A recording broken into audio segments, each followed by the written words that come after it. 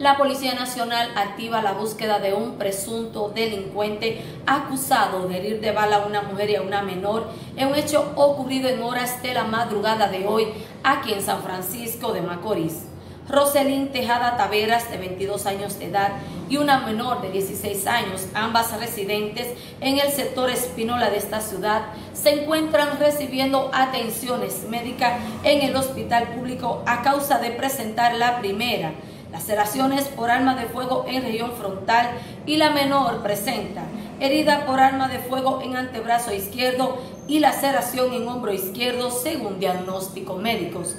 De acuerdo al informe policial, las heridas que éstas presentan se las ocasionó el presunto delincuente Dilson Reynoso Cruz, alias El Mello, de 25 años de edad, en ocasión que las lesionadas iban a bordo del carro marca Mercedes-Benz de color blanco conducido por la pareja del agresor, la nombrada Ruth Ortega y otra joven quien también la acompañaba. Para fines de investigación se encuentra detenida la nombrada Ruth y su acompañante, mientras que nuestros agentes activan la búsqueda de Reynoso Cruz alias Mello para su apresamiento y posterior sometimiento a la justicia.